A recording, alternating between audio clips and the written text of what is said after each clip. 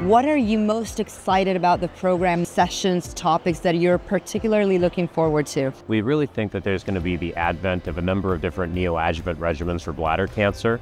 That's going to weigh heavily, I think, into our program. We're also going to have very robust discussions around biomarkers and kidney cancer, things that are really influencing our use of adjuvant therapy.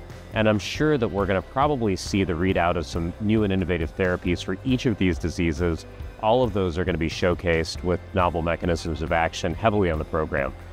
My name is Monty Pallin. I'm a medical oncologist at the City of Hope in Los Angeles, California.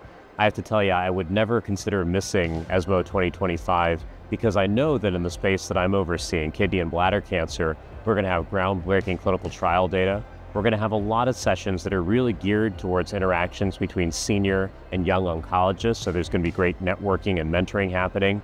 And we're really going to try to ensure poster sessions with novel drugs, novel mechanisms of action that'll hopefully seed the next generation of clinical trials. Really looking forward to seeing you there.